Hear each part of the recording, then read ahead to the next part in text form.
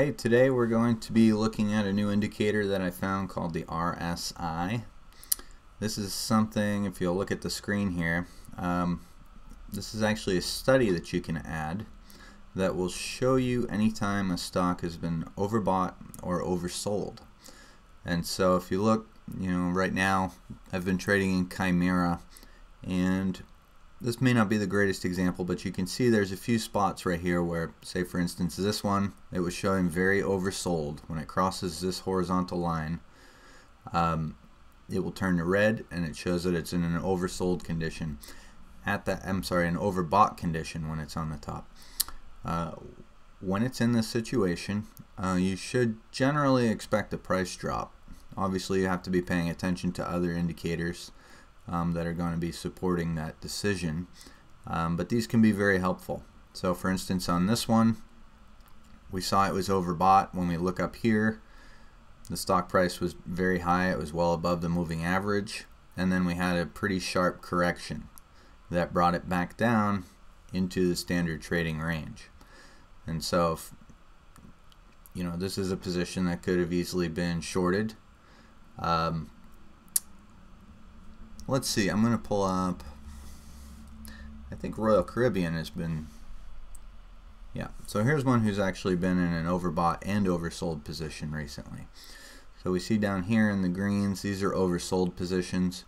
Generally, these are good entry points to buy your stock. So for instance, if we look at this oversold, um, this is corresponding to this dip that we took right here. So we could have gotten in somewhere around 3307.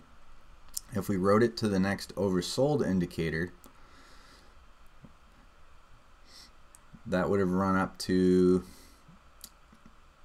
let's see, call it 3485. Could have been very significant.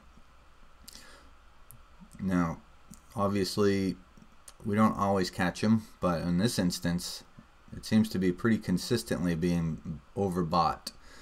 So anytime you see a hard dip like that, you can usually ride out until the next overbought position. In fact, in this one, if you had held through two cycles, you could have sold the stock out at you know 35.66 uh, for you know a, three dollar and fifty cent a share gain. Uh, so there are definitely some options. Of course, this was uh, intraday, so this was not during the trading day. Stocks tend to have a little bit more volatility, actually a lot more volatility during that time. Um, but even as we move into the current trading day, let's take a look and see what's been happening. So we see that we've been overbought a couple of times today. In this instance, it was overbought, triggering overbought right here, and it did have a small correction and as we come in here we begin to see that it was overbought again. And again we saw a correction follow to bring it back towards normal trading. Um, so this can be a really useful tool.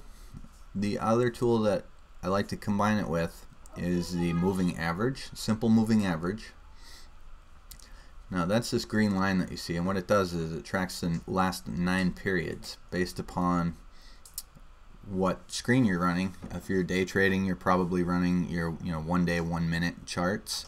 So you can see in the last nine uh, whether the stock is trending upward or downward. And so this can be a very useful tool for you.